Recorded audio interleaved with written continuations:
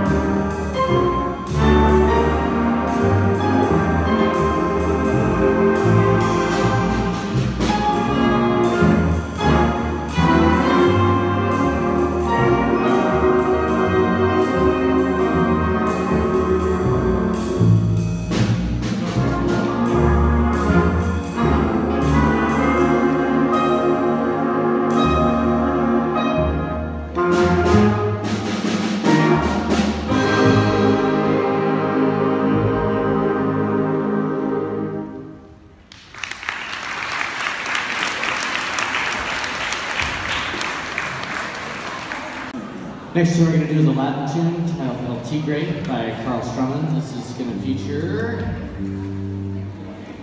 Stanley Lowe on trumpet and Alvin Zhu on alto saxophone.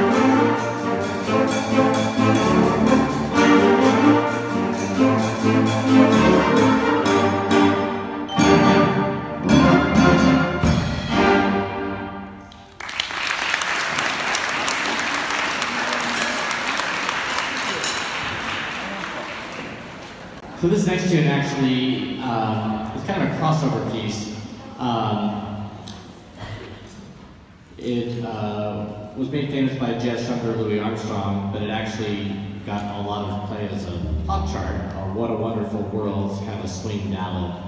And um, this kind of features each section with the melody at different times, so What a Wonderful World.